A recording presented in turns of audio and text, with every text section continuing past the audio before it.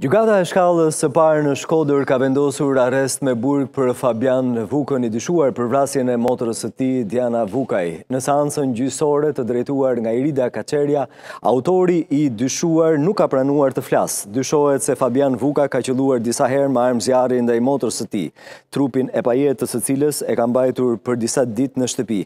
Ai njihet si një person problematik dhe i varur nga alkooli.